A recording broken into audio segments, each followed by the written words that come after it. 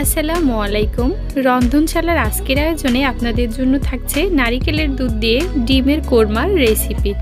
প্রথমে আমি তিনটা ডিম, সামান্য একটু লবণ দিয়ে ব্রাউন কালার করে ভেজে নিচ্ছি।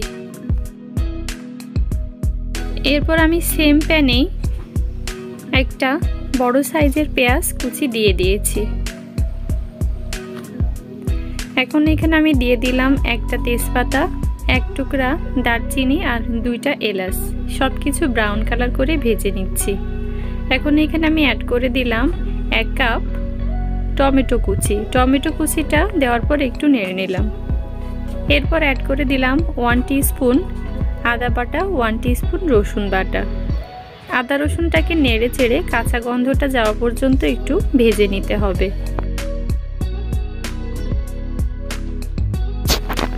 এখন এখানে অ্যাড করে দিলাম হাফ কাপ পানি মশলাটা কষানোর জন্য। এরপর দিয়ে দিচ্ছি পরিমাণ মতো লবণ ওয়ান স্পুন মরিচের গুঁড়া ওয়ান স্পুন ধনিয়া গুঁড়া। সব মশলা একসাথে মিশিয়ে কষিয়ে নিতে হবে।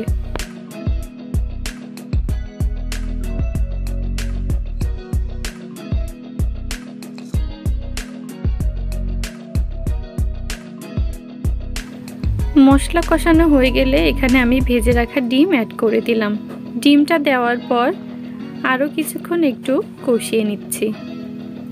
তারপর এখানে আমি অ্যাড করে নিলাম আগে থেকে তৈরি করে রাখা নারিকেলের দুধ।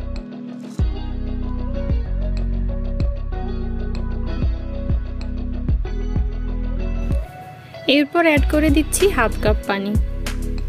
তারপর একটা বলক আসা পর্যন্ত অপেক্ষা করতে হবে।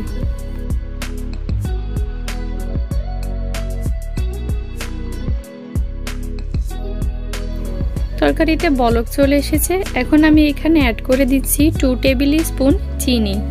আমি এখানে মিষ্টি কোরমা তৈরি করছি আর কোরমাটা একটু মিষ্টি ভালো লাগে। তবে যারা মিষ্টি খেতে পছন্দ করেন না, তারা চিনিটা এখানে স্কিপ করতে পারেন বা চিনির পরিমাণটা কম বেশি করে দিতে পারেন। সেটা আপনাদের টেস্টের ওপর নির্ভর করবে। এখন দুই মিনিট এইভাবে জাল করে নেওয়ার পর এখানে অ্যাড করে দিচ্ছি টু টেবিল স্পুন গরম মশলার গুঁড়া। অবশ্যই আপনারা ট্রাই করবেন গরম মশলার গুঁড়োটা অ্যাড করার। তাহলে টেস্ট ফ্লেভার দুইটাই বেড়ে যাবে।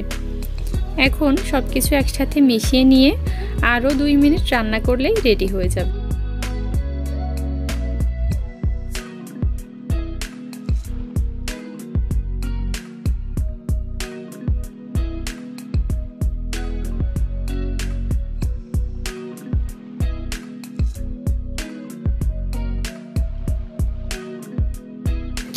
তো ভিওর্স দেখতেই পাচ্ছেন কতটা সহজে আমি ঝটফট ডিম কোরমা রান্না করে ফেললাম। এই কোরমাটা খেতে খুবই টেস্টি হয়। বিশেষ করে যারা মিষ্টি কোরমা খেতে পছন্দ করেন, তাদের জন্য এই রেসিপিটা খুবই ইফেক্টিভ তো আশা করি আমার আজকের রেসিপিটি আপনাদের ভালো লেগেছে। যদি ভালো লাগে লাইক কমেন্ট শেয়ার করবেন। সবাই ভালো থাকবেন। আল্লাহ হাফিজ।